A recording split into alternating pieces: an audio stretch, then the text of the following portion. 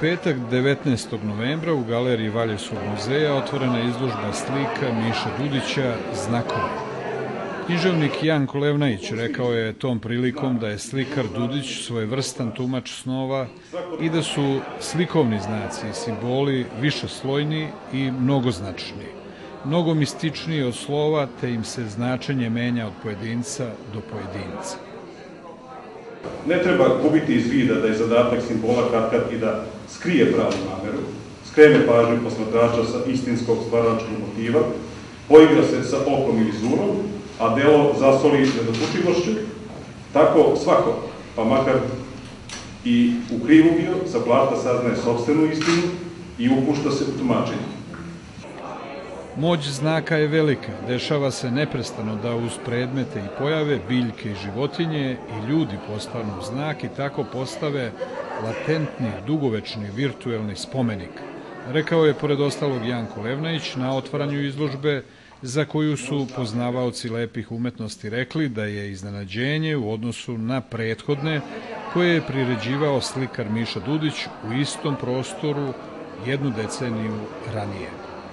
Ovu izložbu e, nisam mogao smisliti i isplanirati e, e, svesno kao iznenađenje, ali se ona desila kao reakcija na prvo život koji živimo, stanje u slikarstvu koje nikako da se iščupa iz crnog talasa deformacije, mraka, nekog informela koji nikako da istraje, a kome je davno prošao rok trajanja,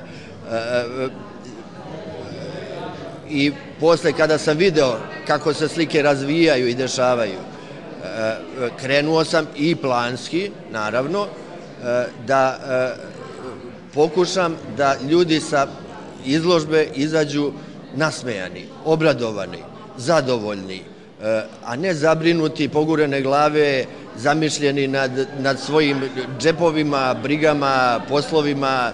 Ne, neka izađu i neka 10 minuta nose utisak makar 10 minuta sa ove izložbe koja, ja se nadam iskreno, to može da učini.